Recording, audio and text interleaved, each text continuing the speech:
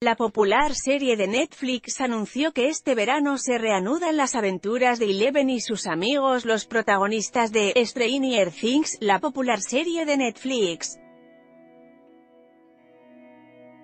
Foto, Netflix La pregunta más frecuente entre los fans de Stranger Things se respondió ayer, cuando Netflix anunció oficialmente que la tercera temporada de la serie se estrena este verano, más precisamente, el 4 de julio, el día de la independencia de los Estados Unidos.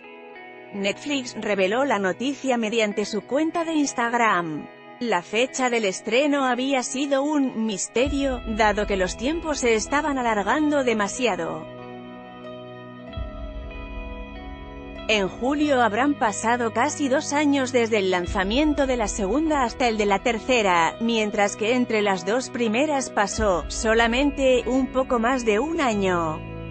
En un comunicado oficial, la vicepresidenta de programación original de Netflix, Cindy Huland, explicó que la demora valdrá la pena. Agregó, además, que para los hermanos Daffer, creadores de la serie, la segunda temporada dejó la valla muy alta. Quieren entregar algo mejor que lo del año pasado. Creo que va a ser una temporada fantástica, agregó.